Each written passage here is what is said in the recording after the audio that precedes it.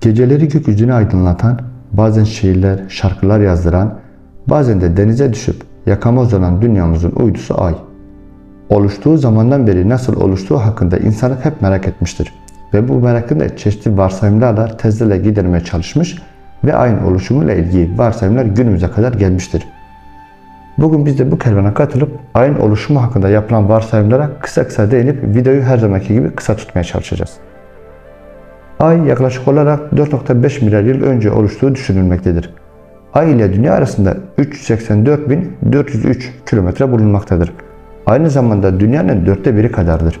Ve bu oran diğer gezegenlerin uydularına nazarında fazladır.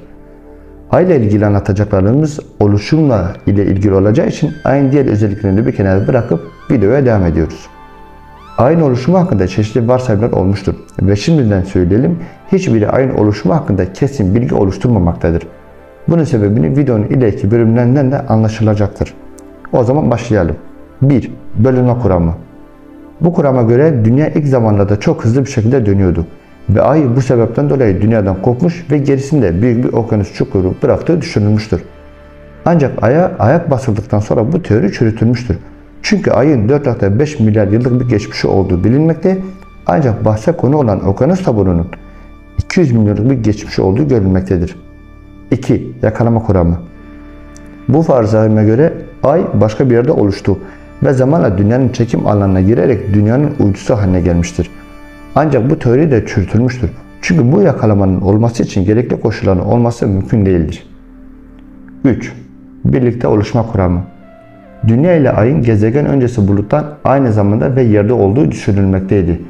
Ancak ay üzerindeki metalik demirin azlığı açıklanamadığı için bu kuram üzerinden de durulmamıştır. Ve gelelim günümüze en çok rağbet gören kuruma. 4. Dev çarpma kuramı. Bu kurama göre dünyanın oluşum zamanında Mars büyüklüğünde bir gök cismi ki bu gök cismine Dea adı verilmiştir.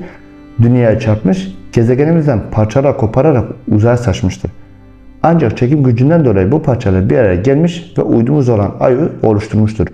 Elbette ki bu kurumda da cevap bekleyen sorular var. Ancak şimdilik diğer varsayımlara nazaran mantıklı geldiği için bu teori kısmen kabul edilmektedir. Evet arkadaşlar bu haftada bu kadar. Kendinize iyi bakın. Görüşmek dileğiyle.